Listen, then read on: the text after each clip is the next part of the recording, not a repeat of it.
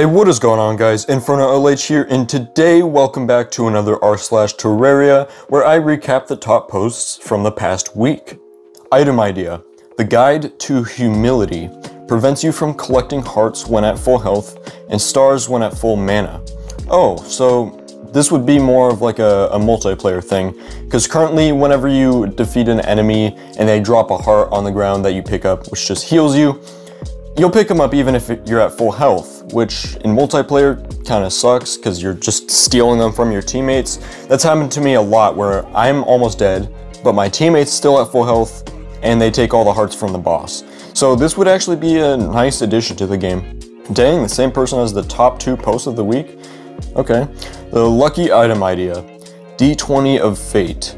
Okay, so this is like a D&D dice reveals your luck. After rolling five ones in a row, I've reached the conclusion that today might not be my day. Okay, so this is an interesting item. So it'll just show you what your luck levels are at in the game because currently most people probably don't even know that luck is in the game, but it, it's a feature in the game and it's hidden. There's no way of seeing what your luck levels are, so an item that shows that would be actually be pretty helpful. If you don't know what luck is, it's basically just a mechanic that shows you Auto. If you don't know what luck is, it's basically just a mechanic in the game that will change the drop rates of items. So the higher your luck, the more likely you are to get item drops from enemies, and the lower your luck, well, you're not going to get them as much.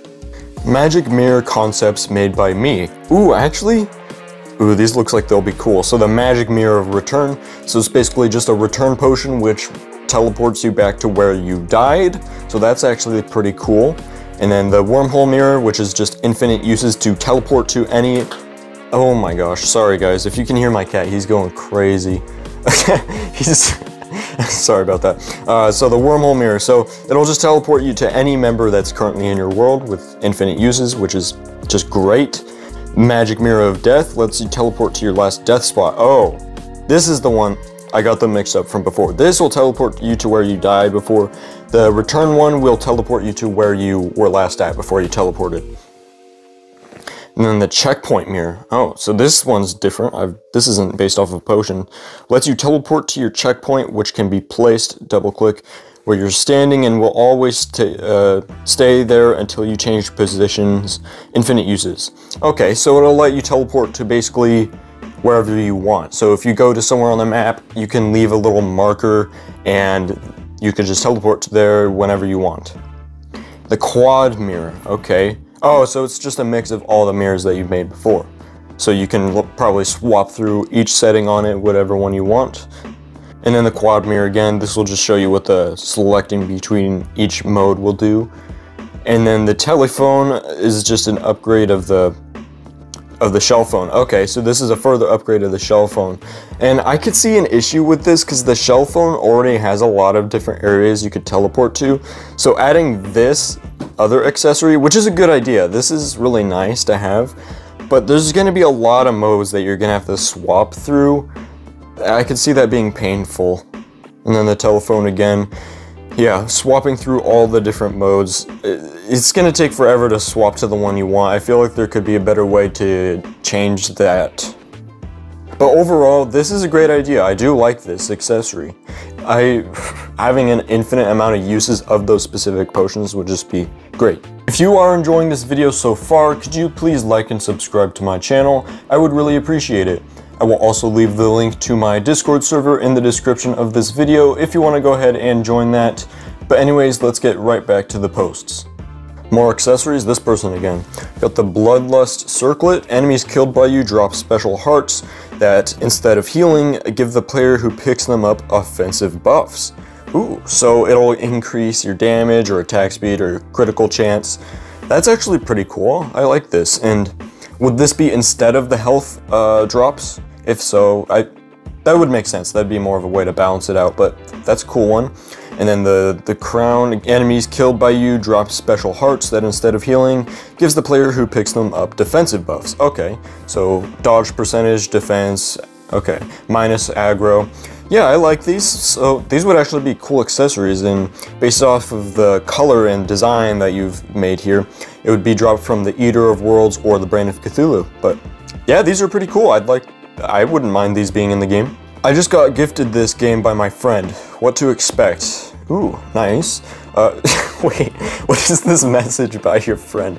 Okay, we're, I'm, I'm just gonna ignore that. But realistically though, there's a lot to learn with this game because the game doesn't really teach you that much. There is a tutorial, you could play the tutorial first, that'll tell you a little bit, but the game doesn't teach you much. You have to figure it out all for yourself, so definitely use the wiki to help you out, or maybe some YouTube videos online you could look up. That would be helpful. That's what I would do. Generating a world. Both are bad paths. You know, realistically, they are both kind of bad paths, but they both have their upsides, you know? They both have great items. I usually choose the Crimson biome just because I think in my first world that I ever made, it was Crimson, and I just stuck with it. So I usually stick with Crimson. What do you choose? Let me know in the comments below. Which, which evil biome do you usually choose when, when creating a new world? Fighting a goblin army in master mode be like, you get all the NPCs are dying and leaving, and then there's you just suffering, dying over and over again. I remember the first time that I played Master Mode was uh, and the, the, the Goblin Army showed up in early pre-hard mode, and it was, it sucked, dude. I died like so many times. I probably died at least 30 times before the event ended just because I wasn't set up for it. And they deal so much damage and they can destroy all the doors on your house and just bust in and kill you. They'll spawn trap you. It's crazy, dude. It was, it was not a good experience. Let me, let me tell you that. It was not good. Here you go, buddy. I'm really disappointed in the lack of Medusa fan art during this current trend. You know, now that you mention it, I don't think I've ever seen Medusa fan art. And, uh, oh, okay, it's like a, oh yeah, because they were doing this trend. I, from the last video, people were making humanoid versions of all the bosses, so that's what this is, I guess. And I guess you kept it on brand with the pros being in that certain spot there. Cathedral. Oh wow, that's, that is looking really cool all these 3D builds that people create in this game, they look so cool, but then I think about it and realize that on practicality wise, they, they're just not useful because you can't actually go inside of them, but they do look sick. So it's like, once they build this, they're pretty much done. They, they never really go back to the build because you can't actually use it. An interesting idea though, that you, what you could do is uh, near the door of any of these houses, these 3D ones, since you can't go inside them, you could place an invisible teleporter, which will teleport you to someplace underground or something, and it could act as though it's the inside of the building. Just an idea. Can we add some variety to whip attacks? Oh, so like the swing animation changes? Because usually, right now, I think it's only like one animation. So different ways of swinging it would be interesting. Just a little quality of life addition. The real best complex item to get, the Ankh Shield, eh. There's the Terra Boots, which does take time, and then the Shell Phone, that one definitely takes a lot of time. But then the Mixed Balloons accessory, I forget what it's called, it has the horseshoe and the balloons on it. This one actually is surprisingly difficult to get. And I don't think I've actually gotten the full combination of all the balloons and the horseshoe, but it is a pretty decent accessory because it gives you like a triple jump with this and immunity to fall damage. So previously this was like the best pre-hard mode accessory and uh, just because it's practically wings, but not really. But it's difficult to get because of all the balloons. The horseshoe isn't too bad, but the balloons do take a while to get because you have to get like a sandstorm in a bottle. Those don't even spawn in every world, so you could create like 10 worlds and never even get one. And then the cloud in a bottle, which that one's not too difficult to get. Those usually spawn everywhere.